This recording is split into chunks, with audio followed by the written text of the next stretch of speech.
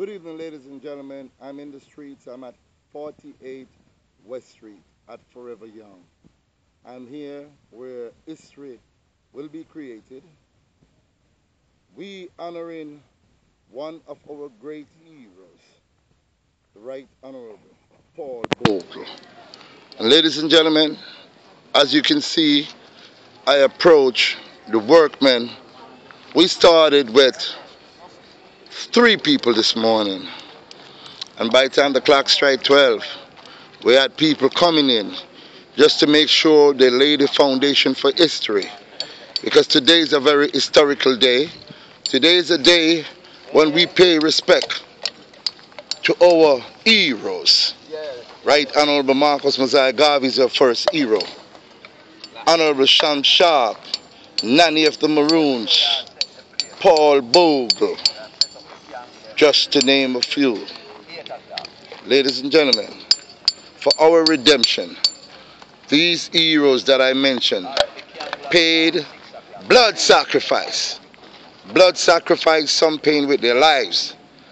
Because guess what? They wanted to do the right thing for their community.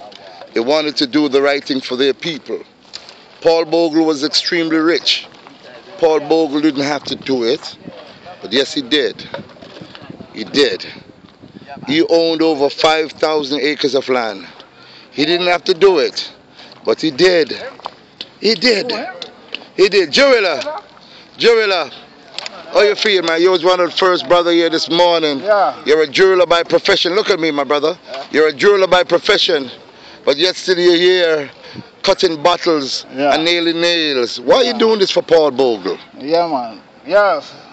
Love, love, love, love. Seriously. You know what I'm saying? He's, he's, he's so lost for words. Come here, my brother.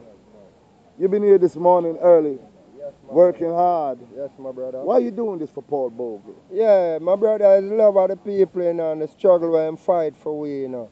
Yeah, because you don't know them bring we from Africa or fourth parents, them have down here struggle and no partiation or nothing them now forgive us. So we have to fight for our one.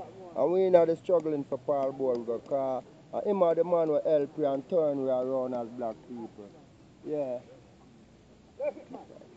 Yeah, because I hate that in my family. Paul Bogle is a man where him find with destiny for we and him sure we back we ought to turn. Yeah, because Africa are the land for the world, I will say here.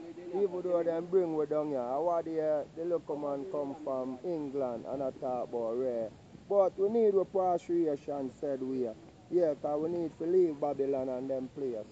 My Yeah, we brother, need what to is your name, my Queen. brother? What is your name? My name is Mr. Wayne, you know, Mr. Mr. Thomas. Wayne. Mr. Yeah. Wayne, thank you for the support you've been giving Yeah. Forever Young. As you know, Forever Young is putting this great production on. The lighting of 1,000 candles. And we always back on him, said we. Yeah, man. because